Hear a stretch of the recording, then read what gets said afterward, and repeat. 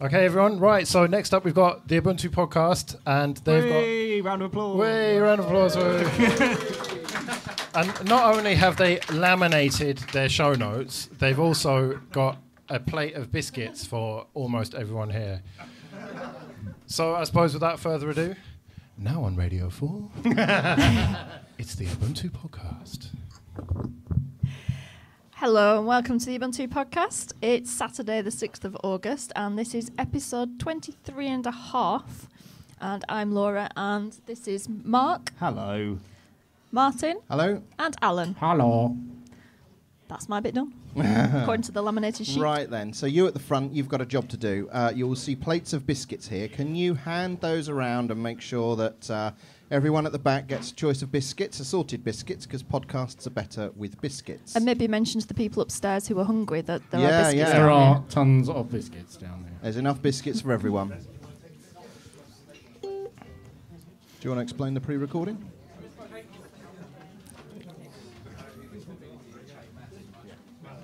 Once the biscuits have gone out. So, um, Yeah, that's we fine. haven't- It's fine. It's fine. There's a bit of. Uh, If we could have Uh, your so- attention, please. when we uh, when we do the podcast normally we're all remote and we do this over Mumble and when we record uh, we need to get everything back in sync when it's edited when someone edits it Mark usually uh, we need to get it back in sync and the way we get it all in sync is we all have to say something at the same time and we'd like you to help us with this uh, so what we do is go one two three biscuits Three, two, one. Shut Really. up it's one two three biscuits isn't it Three, two, one. is it three two one Definitely three, two, I clearly never edit the show uh, so it's apparently what three two one Three, two, one. Right. Biscuit. So we do three, two, one biscuits, and in time for the zero, you need to say biscuits. Okay. So, practice one. Three, two, one. Biscuits. You don't say the three, two, one.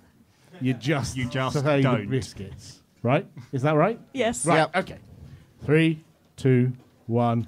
Biscuits. Perfect. Right. Thanks. Um, very quickly, if any of you've got cameras with you, feel free to take photos. We've not got decent photos on our social accounts, so if you get some good ones, uh, put them on Twitter, uh, copy us in, or our Google Plus, or email show at ubuntupodcast.org.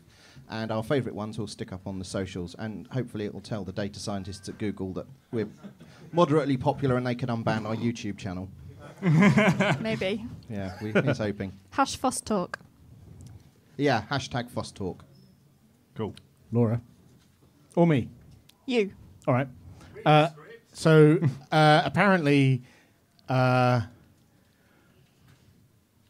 we we don't we don't have uh, cheers usually in the in the audience. Like when people when we do a live recording of this this podcast, we never have cheering. We always have a gentle Radio Four style applause. So we'd like to record. You, as well as doing biscuits, a gentle Radio 4 style applause that we can inject in to make us sound really erudite and uh, clever later on in the show. We'll just inject bits of you applauding, agreeing with everything we're saying. So, if we could please get an applause. Thank you. Who cheered? Who was that cheering? Thank you very much. Is that everything? Okay. Mark? Three, two, one. Biscuits? Better than Oh, that. come on, you just practiced that. This is the real one, okay? Right, here we go. Three, two, one.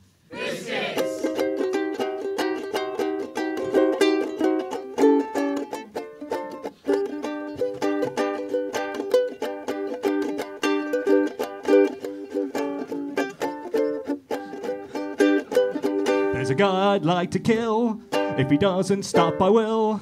He's got a ukulele and a voice that's loud and shrill. And he lives next door to me. And he keeps me up till three with a ukulele and a funny melody. Crazy words, crazy tune. All you'll ever hear him croon is vo dio vo do do do do Sits around all night long, sings the same words every song. Vo do dio vo do do.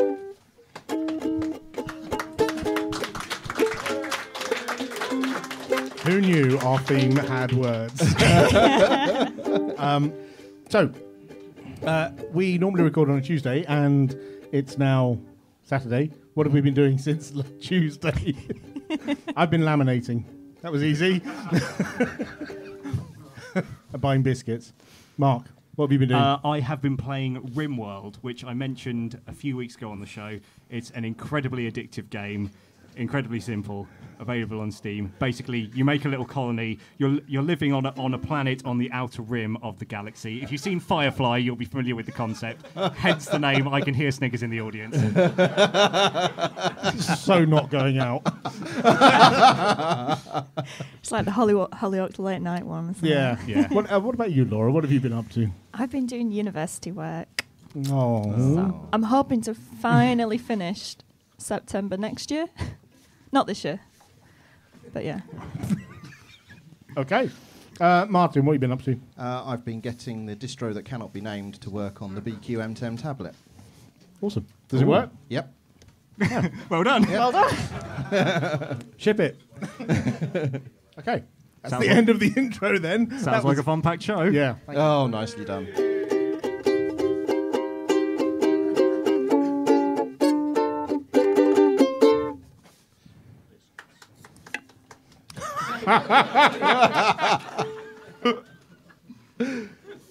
Don't look at me. Oh, right. Okay. Well, um, first up, it's the community news. Um, so, uh, it's a public service announcement. Ubuntu 15.10 is now end of life. So, any of you running 15.10 should upgrade to 1604.1 because 1604.1 has now been released. It has. Who's upgraded? Yeah. Yep, Laura. You, did you upgrade? I did. I thought you there were we go. There we go. It's No. safe to use. Laura's upgraded. Yeah, it's, it seems fine. It's a bit shinier. It's like Hang on. What were you on previously? 60, uh, no, 14 or 4 LTS. Okay. But you upgraded to the new LTS, the new shiny, Yes. and it worked. Yes, Did the and it- upgrade work? yeah, just just worked. Did you have to like wipe it out completely and reinstall from scratch, or No. did you press the upgrade button and it worked? I pressed the upgrade button. Anyway. and it's got different icons. So, result. All right. Yeah. All right. Move on. I, I, I upgraded my laptop when 1604 was first released, and it's been running it since then. So that's been fine. I've been holding off on my server because it's a server, um, which I suppose I'll probably now I'll, I'll do that now that 1604.1 is out. But my Steam box is staying on 1404 until I get a new graphics card. Do you really need shiny new icons on a server? No, but I like. I might I might want shiny new system libraries. I upgraded everything, 1604, all the things, everything, uh, and it all worked seamlessly. There were no problems. I didn't have to run dpkg configure a uh, like eight times in order to make it work. Uh, yeah, it, it was a bit of a fail on a couple of my systems, but um, uh, on on most of them it was okay. I won't mention. Uh, which flavour? Uh, I, had to, I had to do that on. You were upgrading from an unsupported version. Oh, okay. User in error. but yes, uh, generally uh, everything worked okay and everything was fine. That's the company line.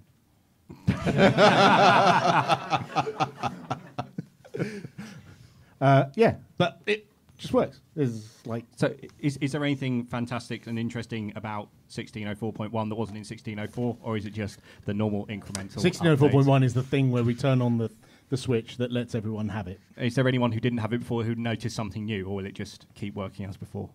Uh, no, for anyone who already had 1604, it will just they will just get updates, Updates and it will just be more shiny and more new and still carry on working in theory. Oh, it doesn't have floaty scroll bars anymore.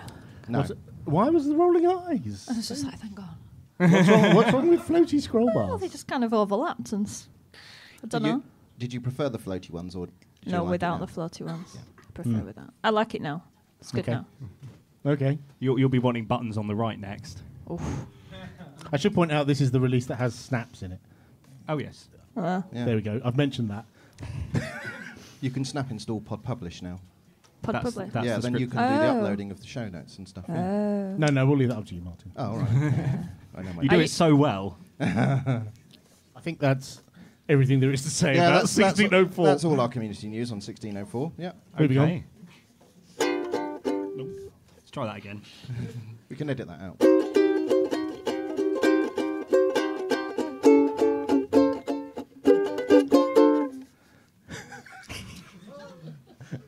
Why did we That's decide great. to do that?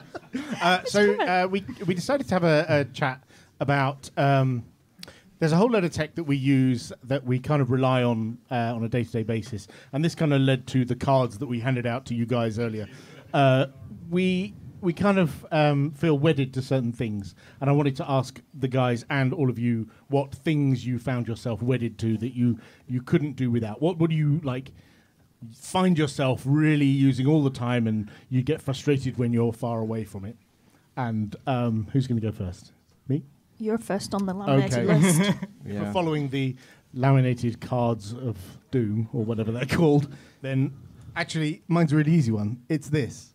It's a simple USB cable that I can't do without because every device I have now has one of these to charge it. It used to be that I had a, a Nokia 3210 and there was a strange round barrel, and then I had a, a Palm TX that had a strange square connector, kind of edge connector, and then there's the Apple things we won't talk about. But the, everything had that. Oh, the the Rio 500, my first MP3 player, that had a wacky connector that plugged in the parallel port. Right, that was weird. Now, thanks to Europe, yay. Uh, we have uh, we have this this connector, and I, and I I have a, a, love hate relationship with this cable because I passionately hate all USB connectors. All of them suck up until this this cable because of the you know the whole putting them in either way round and So what what connectors does that one have? this this that's why it's a love hate relationship because this is the standard US USB uh, A to micro B that charges every device I have, and I have hundreds of these cables. And if I didn't have any of them, if someone went round my house, burgle, this is a good way to mess my stuff up. Right? Go around my house and steal every micro USB cable. And that would just mess me up because I've got like half a dozen phones, tablets, and all kinds of things. They all use this. So I, I need this and I love this, but I hate this because the connector is just awful. It's just a terrible, terrible connector. However, where's other one gone? I had a white one. There's a the the, the new one that I bought. I've got one new phone, which is this Ubuntu phone, uh, which has uh, a USB s- a USB C They connector exist. on it. They do exist. You can touch it later if you want. Um, hey, thank you. Uh, and uh, the uh, the connector on it is the USB C, and it can go in either way around. Oh, thank you, Rich. Gorgeous gentleman of the audience has shown that these go in. Oh, look at that! goes in that way, and it goes in that way. It's Nothing just like a demonstration, is And there? has it got the one on the other end as well? Oh, this cable sucks. You can have that back. so the other good thing is the other end of it you can put in either way as well, like the A side. So, yeah. So my oh, another one. No, that's Apple, isn't it? That's C C on each end. C on each end. Oh, C. See, those are nice. These are terrible. So that's the thing I couldn't live without is Excellent. the the USB cable. Laura, you're next. Oh yeah. So I was boring and said my phone. Um, but specifically when I went travelling in the US last year for about three weeks, um, if I'd lost or broken or had stolen my phone, I would have been fairly screwed. Um, and I was sort of aware of this at the time, but from a good point of view, um, it had my boarding cards on it, um, booking confirmations, phone numbers for getting in touch with anyone. Um, but also, it was really quite liberating because I knew that wherever I went, if I got lost, I had GPS and I could find my way out again. Um, and then also, it had things like Messenger on. So there was one point where I was driving through, it was about 300 miles through Missouri and then to a museum, and then 300 miles back again. And so I had a friend who was messaging me every day and just just keep me company as much as anything. So that was really cool from lots of different points. The sort of the downside of the utter reliance I had on this one phone was that if it had gone missing, um, I could probably have got a lot of the stuff back because a lot of it I backed up into the cloud.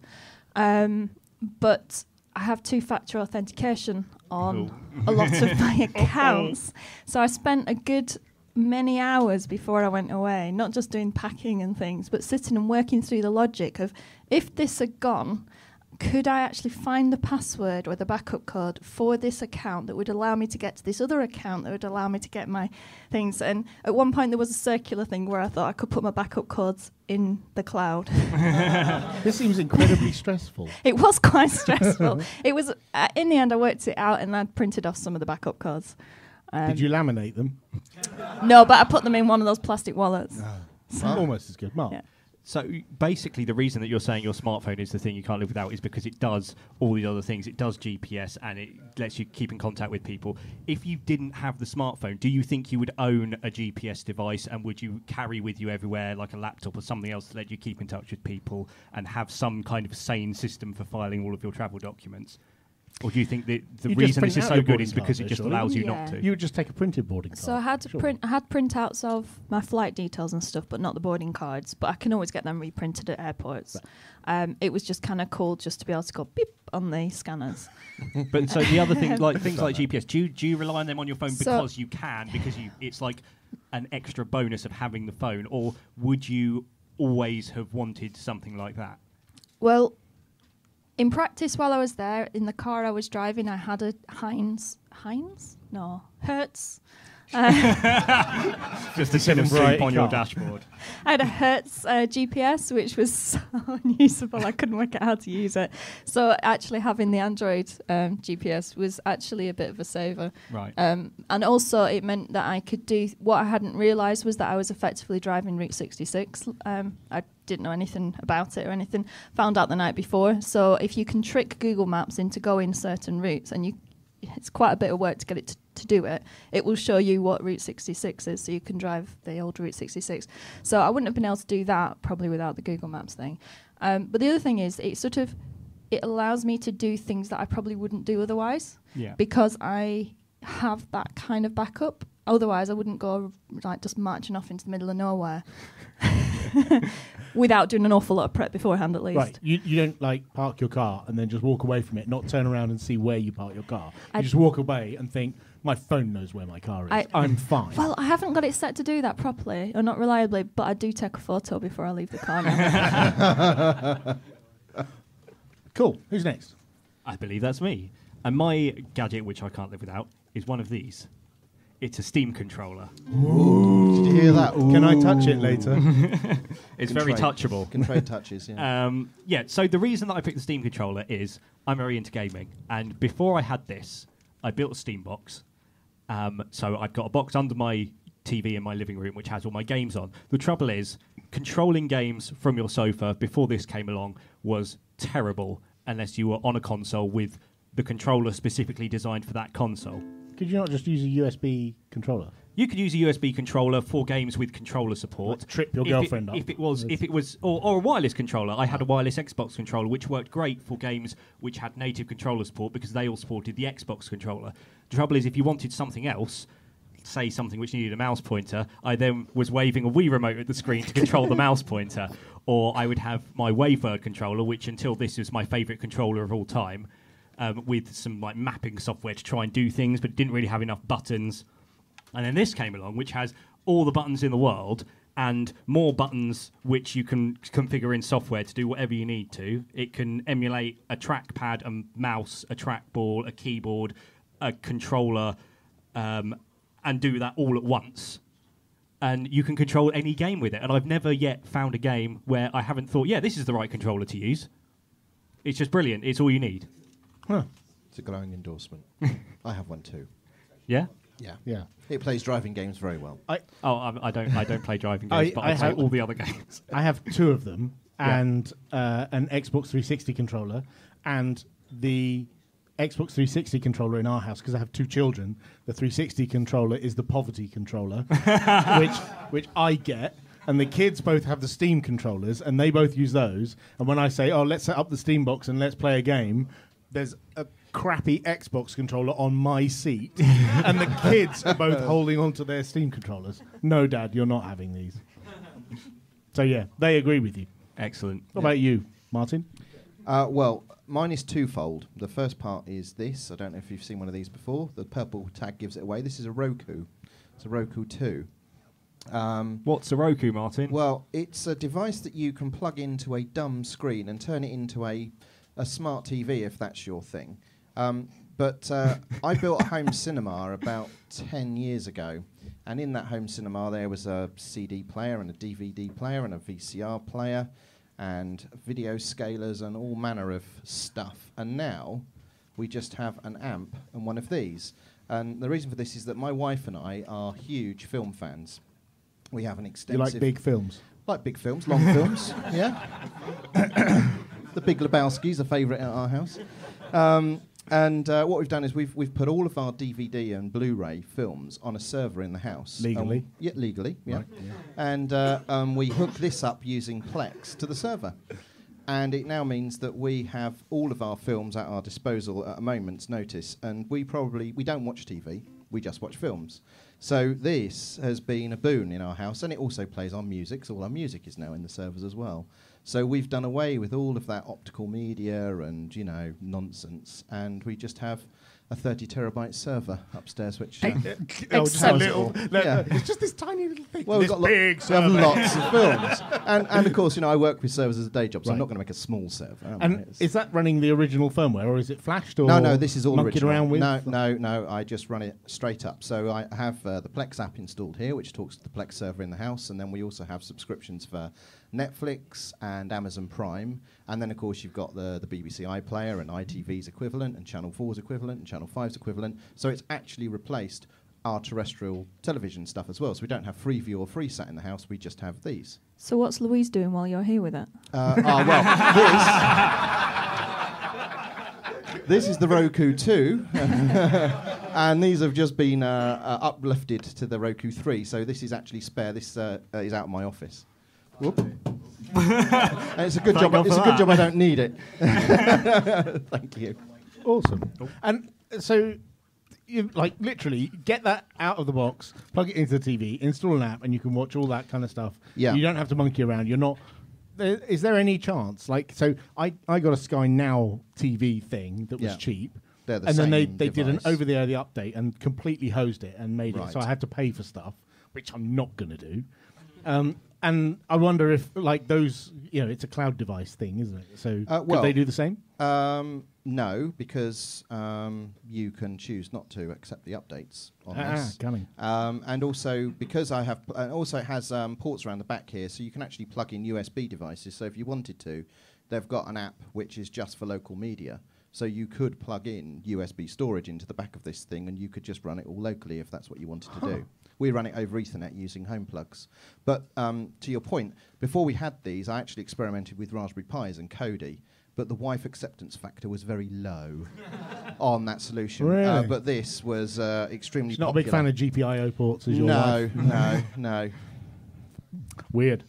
So, um, uh, so that got me thinking when we when we started thinking about these things that we feel we can't live without. I kind of thought, I'm sure I've had this feeling before. I'm sure I've felt I can't live without this thing before, and it turns out I did. So then I started thinking, okay, what can we think of that we used to think we could li- could not live without, but actually turns out we can live without. Uh, and who's going first? You're first on the Oh list. my god! Uh, so uh, I used to be a subscriber before the internet of a thing called CIX. I don't know if any of you, any of you use CIX. Yeah. Why is that? Gig- uh, it's Not not CIX. I was a subscriber to OO BBS and Nildram BBS. Huh. So so CIX CIX was a thing where you could like telnet in and issue commands and uh, there were forums and you could like browse the forums and post and it, it was basically just a giant forum system BBS type thing but there was a piece of software for Windows I was running Windows at the time called Ameol uh, which stood for a most excellent offline reader offline yeah the reader bit was not in Ameol Um, it was a most excellent offline thing. And uh, this thing, you you would it would dial up and drag down all your messages and send all your posts and stuff. And I became addicted to this thing. And it had there were there was a forum for auctions, a bit like eBay. There was a for a forum for like tech support. There was discussion forums for everything. And it it made sense to me. Uh, much more than online web forums do now. it, it it was nice because it was a bit like email. You could like send your post and then dial up the next day, and then you get a whole load more posts. And I felt it was a really lovely community, and there were loads of people who who used to use it. I think Terry Pratchett used to use uh, CIX, and he was quite active on it. And I think one of the biggest forums on there was called Bikers, and the Bikers chat forum was just full of people giving support to other people for whatever. So people would ask computer questions, not in the computer tech forum, but in the bikers forum, because the bikers all knew this stuff, right? and and it was just a really really lovely community uh, and and place to be. And at the time, before the internet came along, it was the place where I you know got involved with tech and stuff with other people. And I, I at the time I felt oh nothing will replace this. Yeah. Now the internet. Goodbye CIX. Yeah, back Yeah. then I was had FidoNet email, and that was how I was able to download stuff back in the day. And I remember downloading all of the floppy disks for uh, Yggdrasil Linux. But That's how I found I- Yggdrasil and actually downloaded it. But your download solutions aren't a lot different now. Well, they're a lot better now because back then, the first set of 14 floppy disks I downloaded, I forgot to enable binary mode. so I, I had boot and root disks that didn't do a whole lot, and I had to download them all again. And considering you had a quota, it actually took two weeks to download the first set, and it took another two weeks to re-download them all again. So, so that was commitment. Laura, what have you used to think you couldn't live without, but actually turns out you can? Um, well, when I was a student in a student house, um, I had a telephone extension cable. We had a three-floor um, uh, terraced house, and I was at the top, and the telephone point was at the bottom. so I had to go and buy from Wilko's, the cheap shop, um, this really long extension cable to run all the way to the top, so that I could run a modem from my P- on my PC. And then, of course, we'd all fight over who had the connection because only one of us could dial up at once. So at some point later, um, we set up a single PC which had a share, did the modem, but had a shared connection, and then I had a 10 meter Ethernet cable running. You love your long cables, don't you? yeah, it was red. This one, uh, I remember it fondly. Um, ran that all the way up the stairs to my room to my computer, um, and then that got superseded by Wi-Fi. Obviously, um, the PC uh, that did the connection sharing got superseded by a DSL router and home hub thing all built in together. Um, and my PC became a laptop, a tablet, and a smartphone. So it was a good thing that the wireless came along, really. God. So flashbacks to unwi- unwinding BT cables, and actually, I, I rented a rented a house where I uh, they had a payphone, and we discovered that you could just unplug the payphone and plug a modem in. I felt a bit guilty sometimes. I would throw a few coins in the payphone, probably not enough to cover the vast internet dial-up costs. I feel bad now. Don't record. Don't record that bit. Uh, Mark, what do you think you couldn't live without? Well, when I was at school, I used to have a Palm PDA.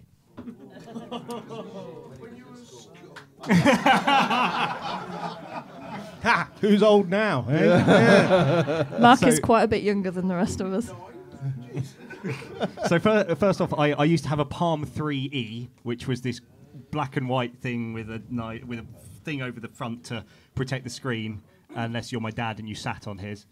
Um, so, but the the thing that I loved about this was b- it was like a smartphone, but before smartphones, Yeah. because it had all of my like my calendar and my notes and everything else on. But it also, the best thing about it is that it let you write on the screen.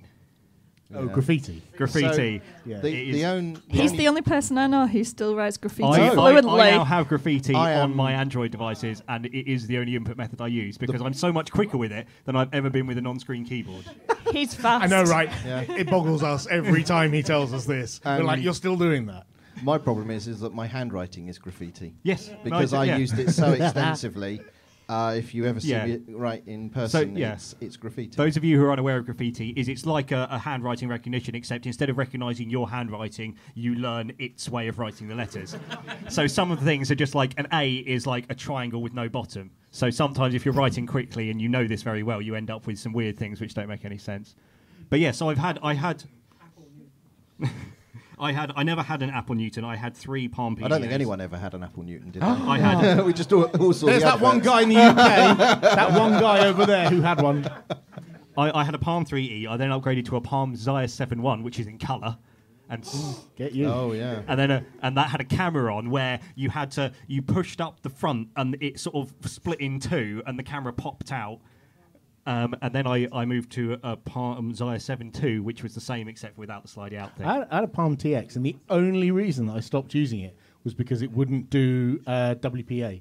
I it because it only Oh, yeah, only did Wi-Fi. web. Web. Oh, really? Yeah, and that was when it got consigned to the drawer. Was when it wouldn't Oh. do secure internet. Yeah, so that was well, it was one of the last models and one of the only ones which actually did Wi-Fi because mine only ever did the, the the last one I had only did Bluetooth and everything else you plugged it in and you pressed the sync button and it went. Palm desktop. Palm desktop. Oh, but you could also get you could also get um, KPilot and JPilot for, Yeah. for Linux, and then it would sync with your with your calendar on your Linux desktop, and then you could sync that with I'm whatever else. flashbacks to bug reports in Ubuntu about Palm syncing on. Oh my gosh! Right, who's, uh, that's Martin. my thing. No, yes, Martin. Uh, the thing that I used to have that I, I thought I couldn't do without was a Pace Twin PVR, which was the very first dual channel Freeview PVR recorder that was available in the UK in sort of 2003. And uh, it was amazing, this thing. And I, I, I, still believe it had the best UI th- uh, that's never been surpassed for actually looking at the channels and secking out your recordings. Who? Pace. Yeah, it was because Pace at the time used to make the Skyboxes, and this was actually w- the the current day Skybox rebadged, took out the satellite tuners t- for terrestrial tuners, and it was uh, reshipped to, for Freeview, and it was glorious, and we used it for seven years, and. Um, yeah, that, that was sort of the centerpiece of how we got our TV, and we loved the idea that we didn't have to, you know, watch the scheduled television as it happened with the adverts and all the rest of it. We could just record it and watch it at our Wait, leisure. what year was this? What year Th- was this? 2003. Right. So Yeah. my uh, son was born in uh, what's nine from this year? Seven. Parents What of the year Year award goes to Alan Pope. It- like we we started having pausable TV, right? And we'd go around relatives' houses, and they'd and they'd call him for dinner, and he'd go, "Oh, can I pause the telly?" And Yeah. th- he just ha- naturally thought every TV was pausable. Yeah. Like. My what? dau- my Your daughter- TV can't be paused. My That's daughter rubbish. looks aghast when she goes round to other people's houses now, and they say we can't pause it. And she's like, "What do you mean you can't pause it?" Stone Age television. yes. Uh, did it have advert skips? Uh, it did. It had a button to accelerate past the adverts. Yes. So the, the, all the all the TV boxes we've had recently have had a fast forward button, but the Humax PVR that I had about the same time, 9200T, Yeah, brilliant. I- I've brilliant got one of those as well. they're good.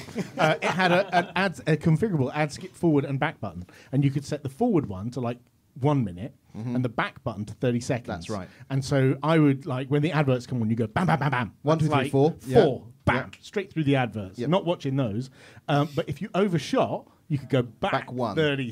seconds. Yeah. Winner. Yeah. I, I, you know, I, I, I miss those days because Claire, my wife, bless her, is terrible with the fast forward button. She'll like press the fast forward button repeatedly on our on our Virgin box, go up to 32 times, and then sail past the, the next segment. I'm like, whoa, whoa, whoa, whoa, whoa. Rewind. Anyway, is that the end of that? I think it is. Yeah. Cool. yeah, we're on schedule. Check Joe will be pleased to hear.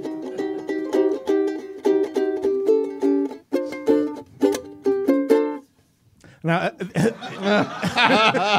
that was a bit of a surprise. Is this you, Martin? I think it might be. Uh, we're now going to run through the best command line loves ever. So, Alan, what is your favourite? Uh, so people Command keep sending these things in, and they, they tell us, you know, this is a great command. You should try this. And there was one that I tried, and it's called. It's actually a Python script, and it's called ps underscore mem, and you'll find it on GitHub.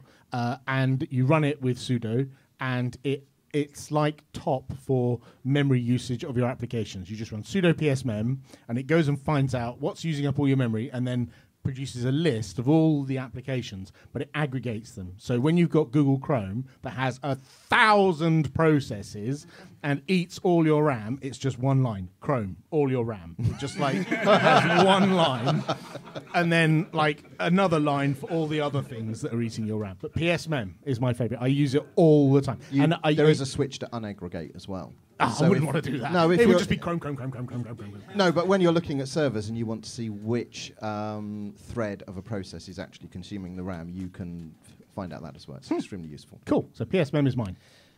Laura. So, I don't.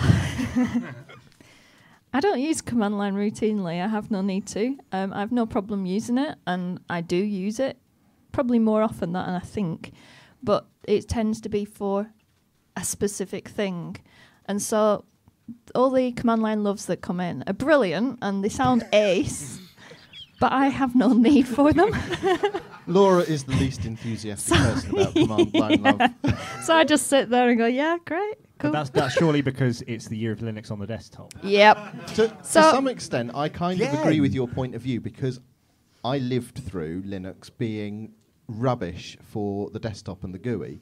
so the year. fact that you can do so much on the desktop now and not have to resort to the command line all the time, because I do that in my day job because it's flexible and it's the way to work. But when I'm at home, I don't want to be doing that stuff all the time, and I try to resist doing it. So I do agree with your point of view. My, Yeah. my uh, uh, daughter came into my room. This is a few years ago, and she'd been playing Minecraft on, on one PC. I think it was either Windows or Mac. It doesn't really matter. She came into me and she, she said, "Should we play Minecraft?" I went, "Okay." I opened a terminal, CD Minecraft, Java minus jar, Minecraft.jar, and she went, "Why do you do that?" you know, yeah. So if something goes wrong, often it's um, I go on the internet and find out how to fix it, and that usually involves using command line. So I do, and that's not fine. Yeah, mostly. Uh, and then I forget how it works. So next time it comes around, I don't remember. I have to look it up again. So yeah, I use things like ls apt-get, top, top. I use quite a lot, surprisingly. I have lots of tabs open um, on the browsers. Uh, use PS Mem. It will tell you it's Chrome. H I should do, shouldn't I? I use CD. That's quite a good one. you, uname minus A. That's really useful when You forget which Ubuntu distro you're won't install another kernel update because your uh, slash boot space is full because you've got Or an you've encrypted hard drive. yeah. all right. I use the command line then as well. Um, yeah. So all those things. Um, yeah. Awesome. So- Uh, Mark? Yes, that's my name. You don't Yes. need to look so confused. um, so Laura just spoke about looking something up and then using it and then forgetting, and then next time you you just have to look it up again. Well, my favourite command line up of all time is Control and R.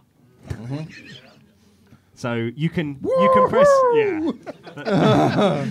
so that uh, that you, you can you can look through previous commands by pressing up, and that will give you the last command and the command before that and the command before that. Press Control and R, and then you type a bit which you know was in that command that you did like however long ago. It will find anything with that in, and then you keep pressing Control R, and it goes back just through those things until you find the command that you want. What? want. Wait, what? So Sorry. so you press Control R, then you start typing, start and then you keep pressing Control R. Yes. And then, it, then it will go through the history. and then you hit enter, and then it runs the command. So I found. knew that we'd done this on one of the shows. Yeah. And Yeah. every s- and I spent s- I spent ages going up up up up up up up and then having to do it again because there's like three commands in a sequence and you have to keep going back. And I knew there was something we'd done. I couldn't remember what it was. The trouble is, you can't press Control R to find when you press Control R. So, my favourite command line love is HSTR, which is Control R on steroids. Because when what, what it's an extension to Bash, so if you're using Bash, and there's reasons why I have to, but I don't choose to normally. Um, you press Control R, you start typing, and then you get a drop-down list of all of your stuff, and you can actually scroll through it and navigate. And there are filters, so you can actually filter your command history. And it shows you lots as well. It's not Oh, just yeah, one. it's- It's, it's like a full screen. Yeah, yeah, it's a full screen of everything, and and you can filter it for, uh, and it's got some intelligence, so um, it will favour things to the top of the list based on the directory that you're in and the uh, the frequency with which you've used commands in those locations. Wow. Yeah, Okay, I'm impressed. Yeah. and if you're impressed by that, you should all be using the fish shell because that its command history is just there. We go, fish shell users, brilliant. Excellent. so that's everything we Um, loved from our command line. That's loves, our favourite command line loves.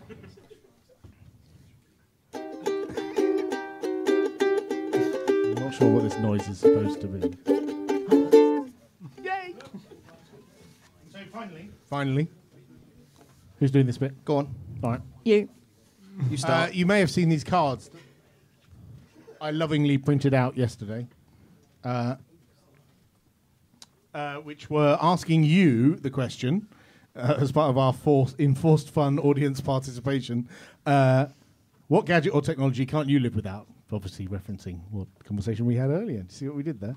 Uh, and loads of you filled them in. Uh, uh, and we're going to run through some of the best ones. Uh, not that any of the ones we don't read out are not the best. However, I have to point out, I did write uh, bonus points for being fun original and not saying my phone or internet. These are the ones where people said the phone or the internet. Joe Ressington. phone. it's my main computing device. Okay, fair enough. Uh, there was another one here from Hungry Horace. Uh, I suspect that might be our nom de plume, uh, who wrote my phone and then read the bit at the bottom and said, okay, YouTube. Um, uh, we got another, the internet. Um, and Stephen also wrote Android phone and virtualization. Harry Fairy, iPhone. Uh, Andrew Ford, at the moment, 1990s vintage IBM PC XT keyboard. Yes. And my phone in brackets. what, plugged into the phone. um, so, yeah, what have you got? Um, I have from Stuart Langridge. My wireless Raspberry Pi based system to wish me farewell in a variety of colours and then greet me on return. It's a Wi Fi hi bye guy die pie.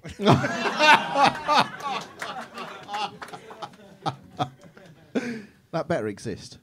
It needs to now. Right. Laura. Speaking of GitHub, uh, we've got Joe Berg, um, and he says Git because it's a great version control tool and it gives Joe Ressington something to be 100% wrong about. Don't blame me, it's Paddy. Uh, we've got one here from Dirk, uh, who uh, says that Oh My ZSH and GitHub are the th- gadgets and technology. Where are you? Where are you? Where? Hello there. Yes, Oh My ZSH. Um, like fishermen for fish. You should be using fish shell. Uh, but you're quite right. I completely Oh agree with this point. we're I'm having too lazy shovels. to set stuff up and remember things, and that's precisely the point. Why remember it? Uh, Giuseppe says TCP/IP over bongo drums, and then There's feels some the in the need corner. f- feels the need to clarify. Yes, it's a real thing, but no, seriously, GNU slash Linux uh, that we can't live without. Which is yes, I agree with that. Oh, I have one from Dave too. Light bulbs, because the bog here has made me realise their utility.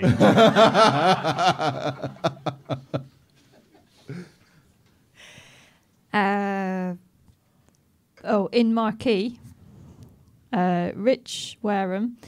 Uh, Google Cardboard for watching YouTube in bed without waking my girlfriend. Waking.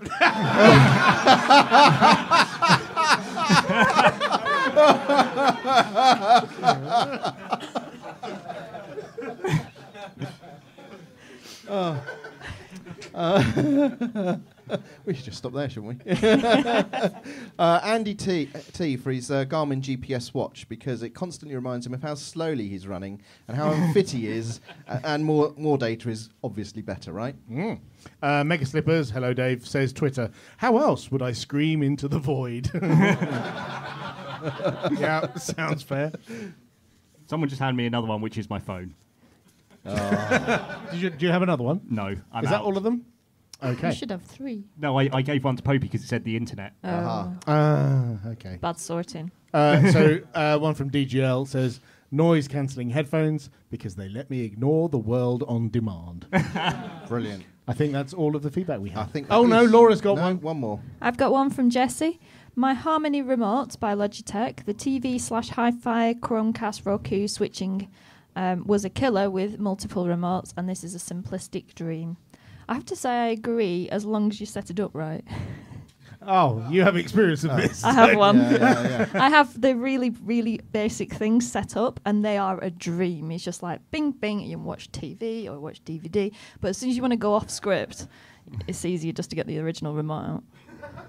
okay, I think that's all of your feedback. Just get a rope. Thank you very much.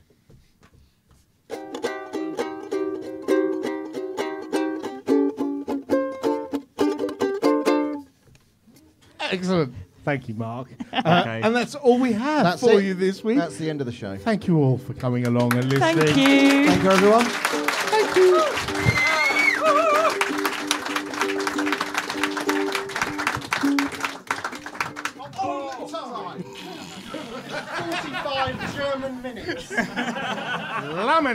You are one minute early. This would not happen in Germany. But I, yeah, I can everyone, play my ukulele some more if you want. please don't. so everyone, yeah, thanks again to the Ubuntu podcast.